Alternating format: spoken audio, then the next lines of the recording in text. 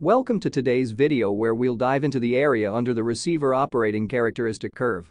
The AUC ROC, is a general metric used to evaluate the performance of binary classification models. Now, let us review with reference to support vector machine SVM.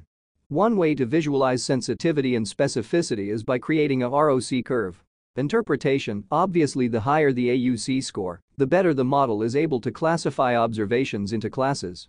Categorization Here is the rule of thumb for the categorization of the AUC score as poor discrimination, acceptable discrimination, and so on as given by Hosmer and Lemeshow in Applied Logistic Regression page 177. Here is the custom functions for ROC plot and AUC categorization.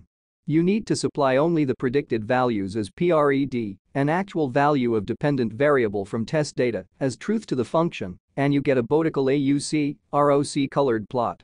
Next is the custom function for categorization of AUC score. Now, let's import the diabetes dataset having 8 predictors and diabetes as dependent variable.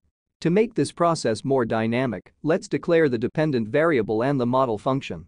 By this way, you don't need to touch any part of the code. Next comes the first part of model building which is splitting dataset as training and test datasets using function called sample.